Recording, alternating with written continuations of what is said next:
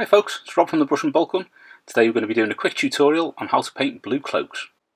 Now the first colour we're going to use is Citadel Macragge Blue. And we're going to do a base layer on the cloak, so you want to get this nice and smooth.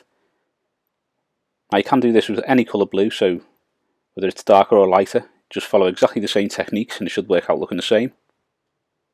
But obviously the different blue.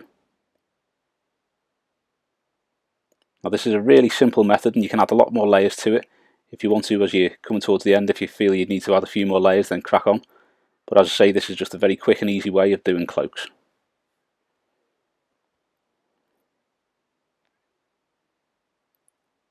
Next layer is going to be Citadel Drakenhof Nightshade. We're going to apply this to the cloak just so we can get all the recesses darkened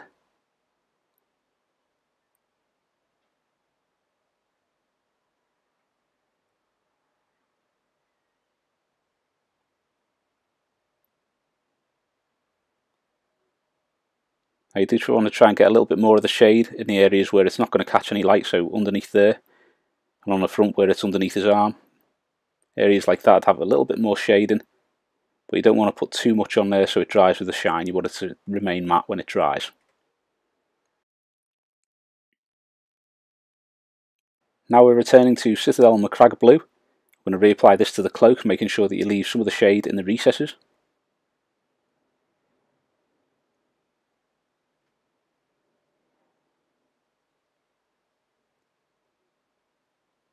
Now if you think about where the light would be catching it, it's going to catch it on all of the ridges and only the areas which are sort of flat and facing upwards, so the top part of this cloak here and each of the ridges on the back, they're going to be brighter near the top and where they're catching more light than they are near the bottom, so just bear that in mind when you're adding your layers and your highlights. Now we're adding a little bit of white to it. Now we're using Vallejo white here, but whichever white you've got, you can use that. With the shade, we're going to be adding highlights to all the raised areas and the areas that are going to catch more light. Now what you want to do is when you're applying it, make sure that you're leaving some of the normal Macragge blue showing around the edges of it, because that's the sort of grading that you want to be going for. So you'll have some of the shade showing, some of the Macragge blue showing, then this highlight.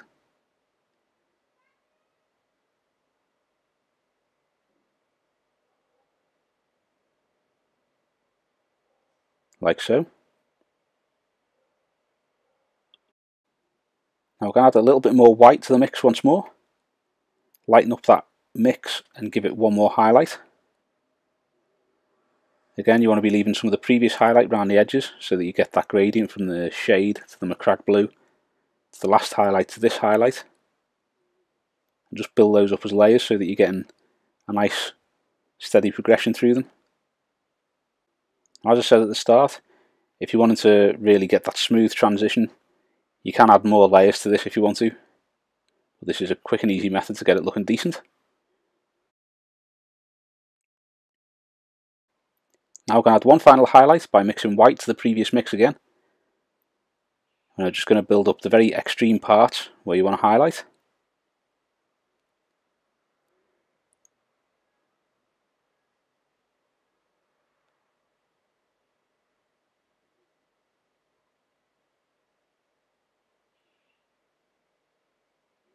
You can see here it's mainly the ridges and the raised areas that you're going to be putting this highlight on. And I'll just make the very tops of them stand out where they're catching more light.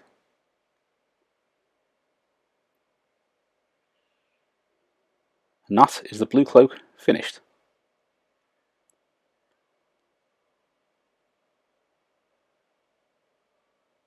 Thanks for watching, I hope you've enjoyed the video and if you have, please give us a thumbs up and subscribe to the channel so you don't miss any future content. Also think about subscribing to some of our other social media linked below. Thanks very much.